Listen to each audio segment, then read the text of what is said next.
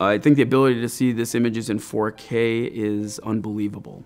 Uh, whether you have spectators, you have staff, you have visitors, you have uh, residents or fellows or anyone in training, the ability to be able to see everything in 4K on a big screen really enhances the experience and the learning for everybody in the room. I think the features in this particular microscope do add a new dimension, like uh, a good recording of high definition video and the possibility of training young doctors and observers.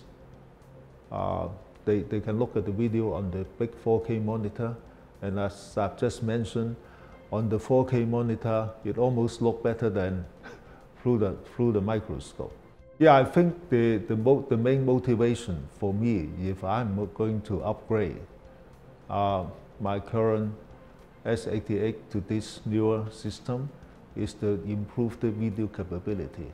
The most important new technological feature which uh, came into my eye was uh, the fluorescence uh, option. So we have the option that we can uh, illuminate also the vessels during surgery and this brings the uh, device to another level.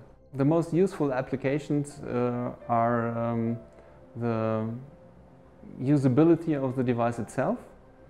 Um, we have very good visualization uh, options with the device and uh, nowadays we can use also the fluorescence for the determination and for the visualization of vessels. It is important in the OR room that people who are working there or who are taking part in the surgery can really take part with their eyes in the surgery.